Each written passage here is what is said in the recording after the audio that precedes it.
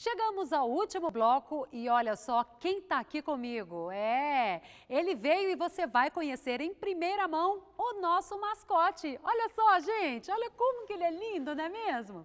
Pois é, pessoal, ele vai rodar o Parque da Gameleira para divertir a criançada e os adultos também. Mas ele está sem nome, então você pode ajudar votando, porque a gente precisa escolher entre as opções. Então, olha só, vote pelas nossas redes sociais, mande e-mail e durante a Nacional, vote também pelos totens e escolha se ele vai chamar Manga Larguinho, Barão ou Max. A votação vai até o dia 20 de julho e o nome dele será anunciado durante a abertura oficial da exposição nacional.